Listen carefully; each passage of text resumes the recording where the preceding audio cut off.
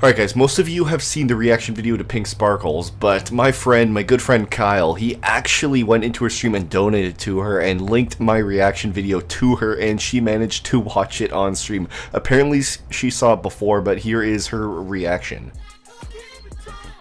Oh yeah, I saw this. I saw this. Kyle, I did see this actually.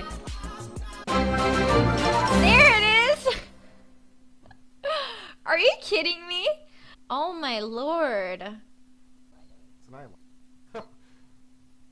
I had to read that. Someone said that. Falador the White Cat. Wait, wait, wait. Here we go. Falador is a place wait. from... Here we go. Someone said that in the chat. I'm a lot. I'm a fucking PhD from Falador, okay? Falador is a place from RuneScape. She got a PhD from Falador the White Castle. Oh my god. She beat the White Knight's quest and got the PhD in law. Oh my god. She just said she I got have a a PhD, PhD in from law. Falador. I, I honestly can't believe she said that.